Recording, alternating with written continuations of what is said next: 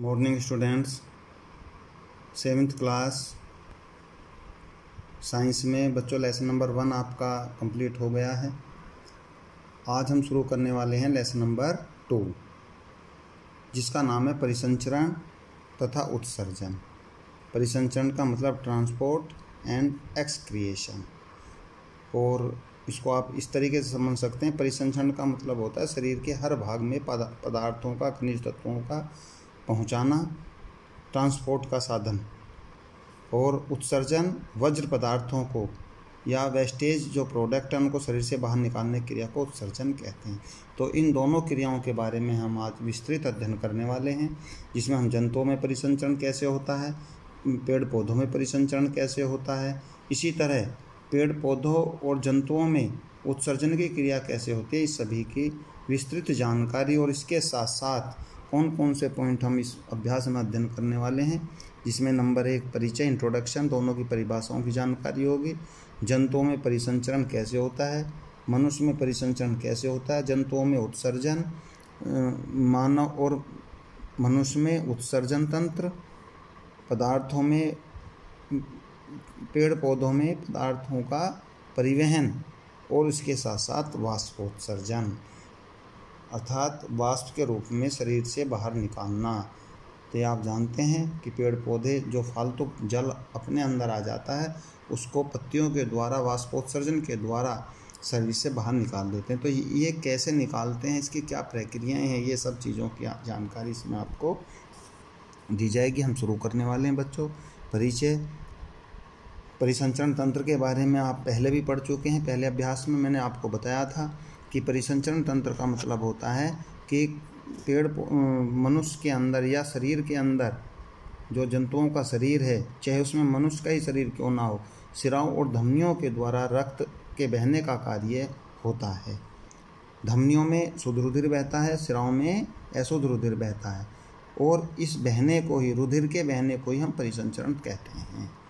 और रुधिर के साथ साथ जितने भी खनिज तत्व हैं, खनिज लवण हैं, कार्बनिक पदार्थ हैं, ऑक्सीजन, गैस है, इन सब की पूर्ति शरीर के विभिन्न भागों में जो होती है, वो रक्त के द्वारा ही होती है, इसलिए हम रक्त को परिसंचरण तंत्र या ट्रांसपोर्ट कहते हैं। परिसंचरण एक ऐसी प्रक्रिया जो सजीव, सजीवों के जीवित रहने के लिए आवश्यक है। इसी इसी प्रक्रिया के आधार पर हम सजीवों को सजीव मानते हैं। इस प्रक्रिया के अंतर्गत शरीर के किसी भी भाग में उत्पादित भोजन या अवशोषित भोजन को शरीर के अन्य भागों में पहुँचाने का कार्य किया जाता है। ठीक है बच्चों, ये आपको पहले भी बता दिया गया है कि इस इसके द्वारा ही हम, इस परिसंचरण के द्वारा ही हम पेड़ पौधों के अंदर या मनुष्यों के अंदर या जंतुओं के अंदर सभी पदार्थों का आवागमन या सभी वज्र पदार्थों का, सभी पदार्थों का, खनिज पदार्थों का, कार्बनिक पदार्थों का, भोजन का, यहाँ तक कि ऑक्सीजन, गैस का परिसंचरण रक्त के द्वारा ही होता है, जो जीवित रहने के लिए बेहद ज़रूरी है। जंतुओं में परिसंचरण कैसे होता है बच्चों? अब जंतुओं में परिसंचरण आपको पता है सेकंड नंबर में हम अध्ययन करने वाले हैं, पेड़ पौधों में परिसंचरण कैसे होता है। संसार में सभी प्राणियों का जीवित रखने के लिए वनस्पति जगत के पेड़ पौधे भोजन प्रदान करते हैं। आप जानते हैं, पेड़ पौधों से हमें भोजन मिलता है। जल तथा ऑक्सीजन जीवन की मूलभूत आवश्यकताएँ हैं। जल भी और ऑक्सीजन भी। मनुष्य को, मनुष्य का जल तथा ऑक्सीजन के बिना जीवित रहना संभव है। इसकी पूर्ति करने के लिए हमारे शरीर में रक्त का संचार होता है। ठीक है? रक्त का संचार होता है, परिवहन होता है, परिसंचरण होता है। इस रक्त के संचार के लिए शरीर के भिन्न अंगों एवं उनके कार्यों का अध्ययन हम यहाँ कर रहे हैं। ठीक है? भाई संचार कैसे होता है? परिसंचरण कैसे होता है? उन उसमें कौन कौन से अंग भाग लेते हैं, इन सभी का अध्ययन हम यहाँ पर करने वाले हैं। ऐसा नहीं है कि धमनी और शिराओं से ही परिसंचरण होता है, इसमें कौन कौन से शरीर के अंग भाग लेते हैं, इन सब की जानकारी भी आपको इसी अभ्यास से मिल जाएगी। ठीक है? मनुष्य में परिसंचरण, मनुष्य में परिसंचरण कैसे होता है?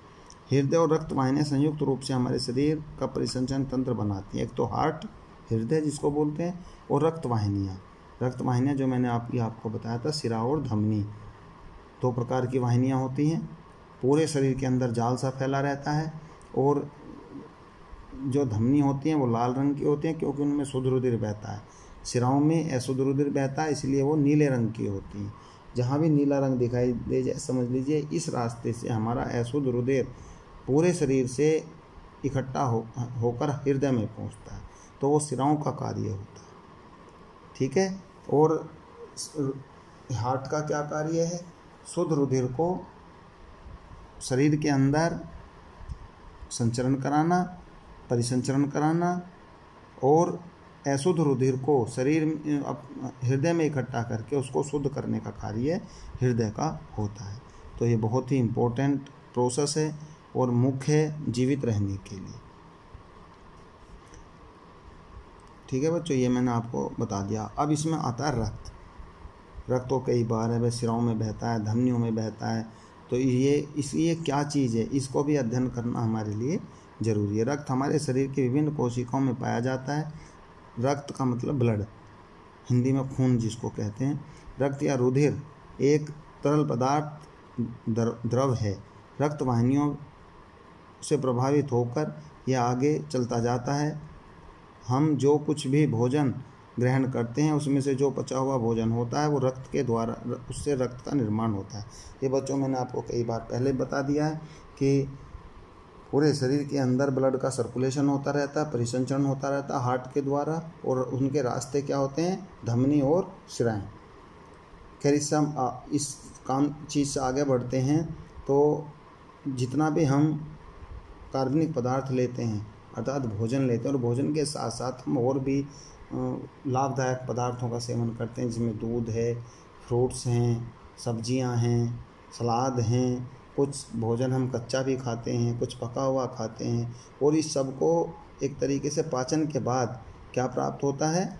विभिन्न प्रकार के खनिज तत्व प्राप्त होते हैं, यौगिक प्राप्त होते हैं, उसके साथ साथ कार्बनिक पदार्थ प्राप्त होते हैं और जो हमारे शरीर में और उसमें जो है ब्लड भी हमारे शरीर में उसी से तैयार होता है।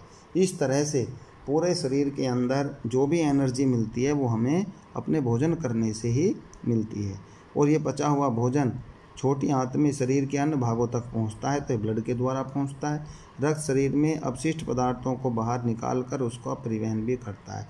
और जब ये शुद्ध रुधिर पहुँचाने का काम होता है तो शरीर से अपशिष्ट पदार्थ, वज्र पदार्थ या वेस्टेज पदार्थ जो भी होते हैं, वो भी ब्लड के द्वारा इकट्ठा करके निश्चित मार्ग से शरीर से बाहर निकाल दिया जा सकता है।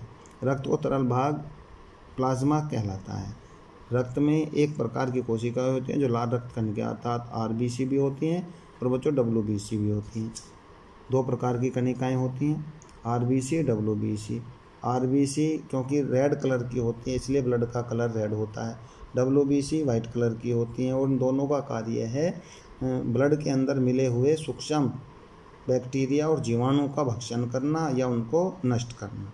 तो इसको बोलते हैं हम आरबीसी को रेड ब्लड कार्पिस्किल्स लाल रक्त कणिकाएँ, जिसको हम हीमोग्लोबिन भी कहते हैं, क्योंकि हीमोग्लोबिन का रंग भी लाल ही होता है। हीमोग्लोबिन ऑक्सीजन के साथ क्रिया करके कोशिकाओं का रंग लाल कर देता है। रक्त में दूसरी कोशिकाएँ भी होती हैं, ठीक है बच्चों? जो ब्लड के अंदर एच पाया जाता है, वो ऑक्सीजन से क्रिया करके पूरे शरीर के अंदर ऑक्सीजन की पूर्ति कराता है। आर होती हैं, जिसका फुल फॉर्म में डब्ल्यू बी सी दूसरे प्रकार की जो कनिकाएँ बच्चों होती हैं W B C white blood corpuscles अर्थात एक तरीके समझिए, श्वेत रक्त कनिकाएँ एक लाल रक्त कनिकाएँ एक श्वेत रक्त कनिकाएँ इनका कार्य भी रोगाणुओं का, को नष्ट करना या उनका भक्षण करना होता है।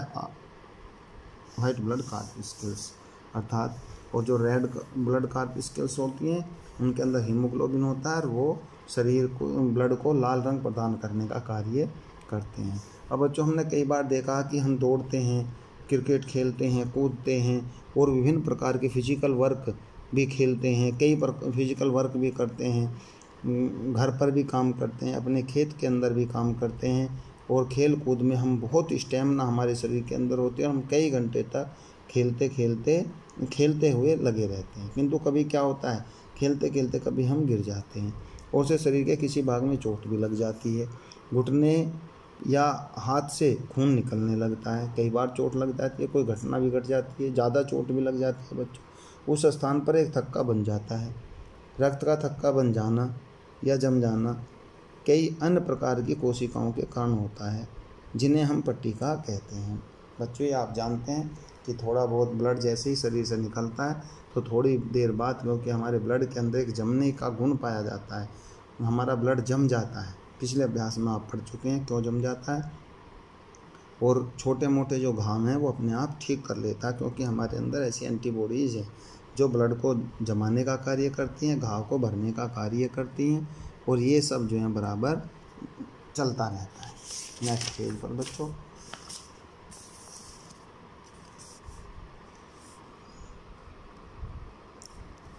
अगला हेडिंग है रक्त दाब